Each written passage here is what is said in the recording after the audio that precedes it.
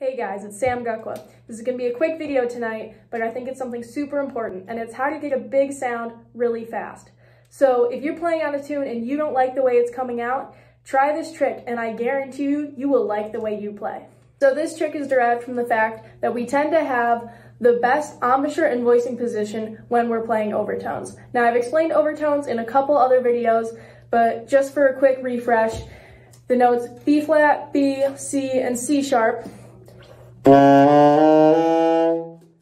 can all be played in the overtone series. So an octave, an octave and a fifth, two octaves up. Those are as far as we're going for this exercise. We don't need to do anything higher. Also know that A above the staff can be played using a D fingering.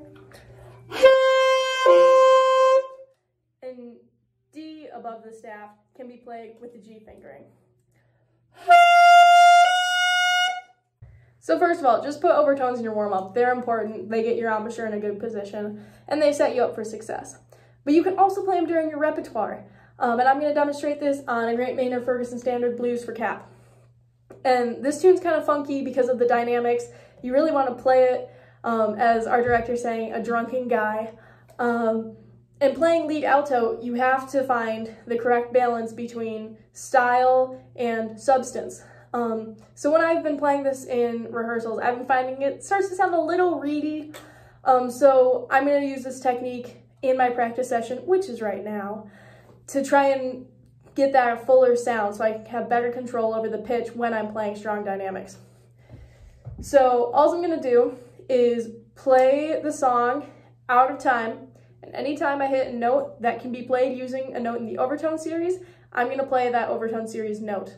So notes I can play on this phrase I'm going to do, A, C, C above the staff, A flat, G. I'm going to stand up so I can demonstrate. My head's going to get cut off. Sorry about that.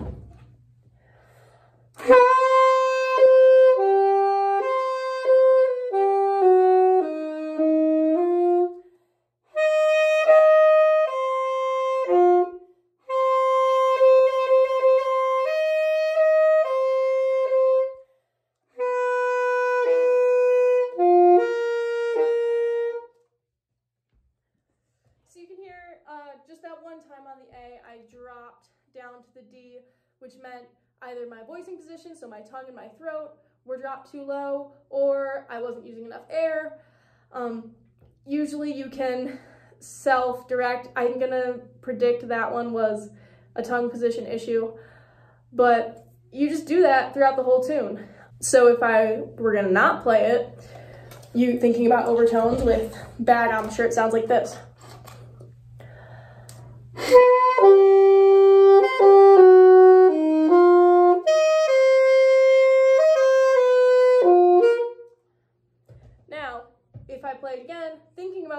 Overtones I just practiced, it sounds like this.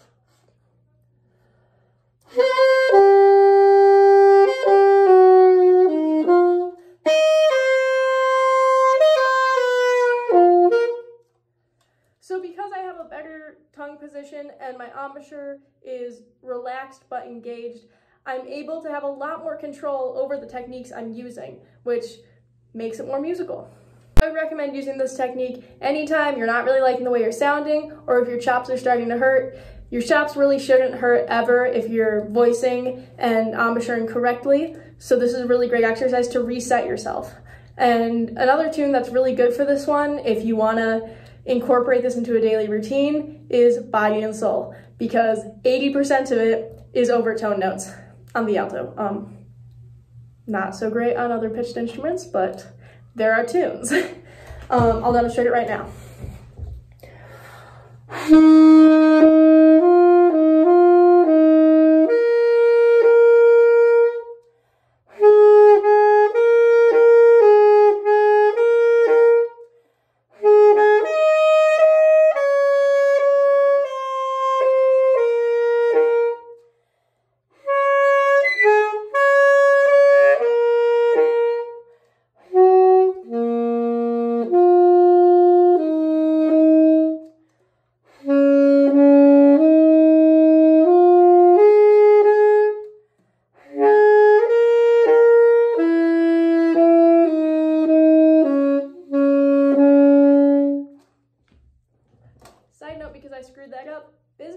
Friend when playing overtones. This technique out on Body and Soul and any other tunes that you're working on that you just don't love your sound on.